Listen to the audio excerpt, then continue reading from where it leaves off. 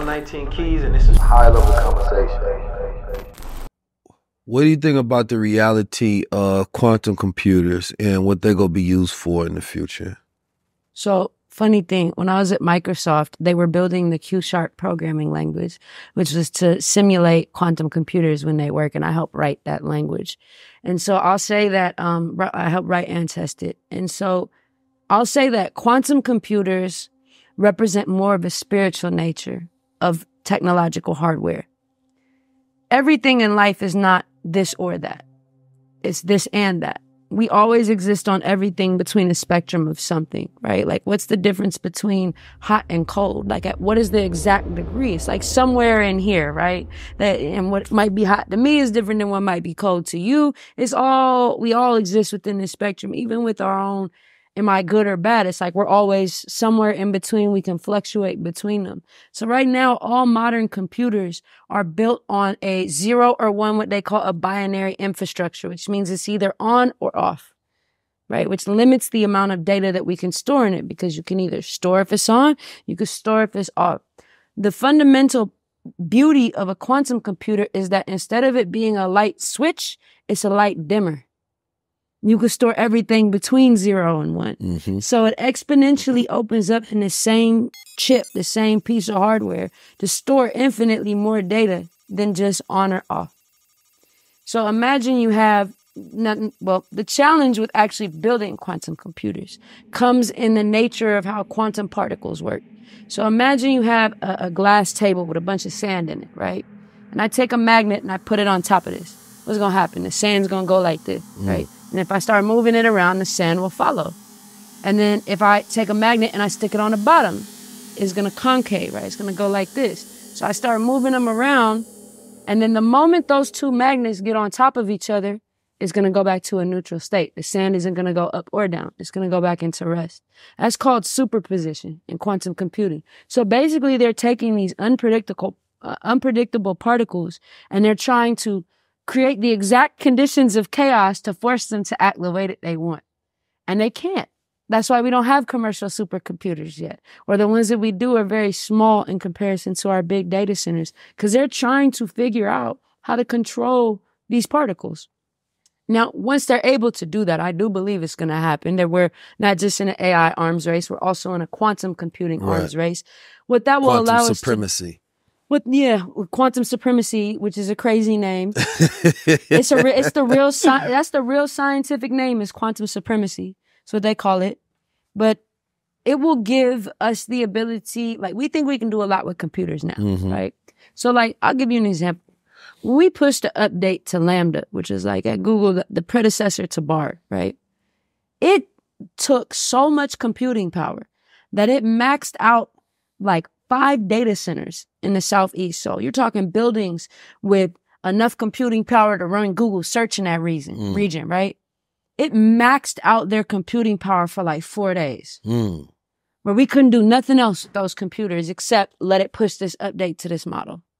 That's how much computing power it takes. With a quantum computer, it would take like one chip on one little hardware. Mm. Because the amount of data that it can store and processing it can do between that one and zero is infinitely more. So the things that you could do with a, with a, with a, with a, with a CIA data center, like the ones they're slapping all in, in Ohio and slapping all in, um, the, Utah, Utah. Yeah. The, all the data centers that they're buying there, you could do with something the size of your cell phone.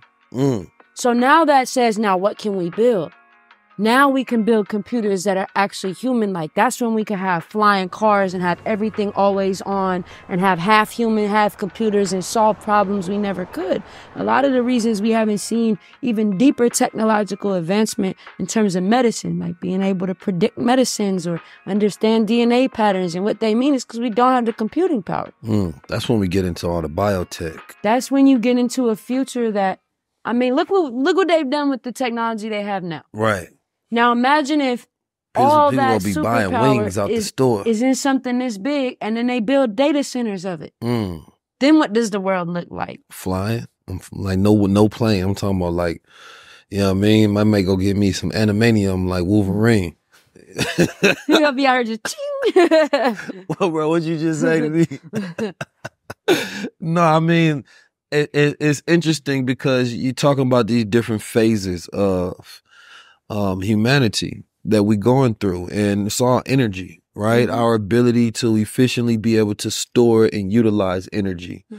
right? Because that's what's happening right now. Is is is we're using so much energy for these new technologies, right? That they're not sustainable, right? And that they require so much more that, you know, the margins on them are super high. So of course it's beneficial for these companies to be producing them. So you see a lot of these companies shooting up right now and they're making extreme profits because they can charge so much. But the idea of being able to turn on one of these quantum computers, that's truly when the imagination of the world is set free, right? All the things that we've thought of before can now be done. Hundred percent. And when I say all, I mean all, right? Because it's going to, it's it's not going to be like complex in the way we go about building. It's going to be text to action. You know what I mean? It's just going to be, hey, this is what I want to do. Computer, say no more. Done hmm okay, that was quicker than I thought. Right? Like I really grew up watching like Star Trek and uh Star Wars and Deep Space Voyage and all of that, right? So when I look at that type of technology, that's where that was when we had a completely different planetary scale, hmm right? And I like to think about the future because this is a museum, right? We we we take these thoughts that we have together, we collectively create them, and then in the future, people are going to be living out some of our ideas that we speak on here because they're going to have the computing power to do so, Yeah. right? And whether that's good or bad won't even be just the only option anymore, right? Like you talked about foundation.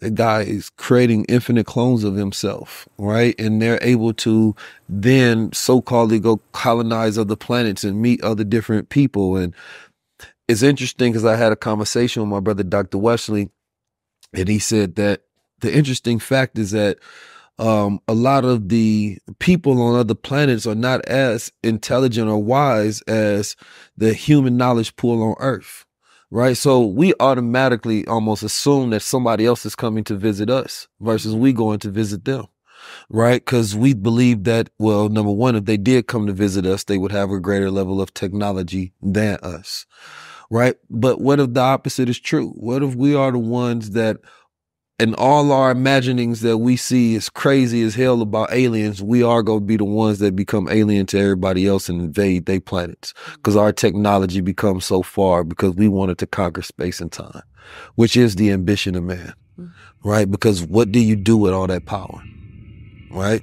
What do you do with all that power? We see what man does with the power he has now. It's destructive. It's ravenous. You want to take control. You want to own. You want to go to every planet and figure out what resources you can take, what experiences you can have. And it's not enough to cooperate and coexist. Not unless the original Asiatic people are the ones to do it. And their point of going would not be to go in there and to disrupt the harmony of those people. Right? If anything, it would just be observation because you don't even know if by you visiting, you can contaminate them with your germs right? You don't know that you can come in mess up their whole ecosystem just by entering their atmosphere. But by the time you ask those questions, it'd be too late.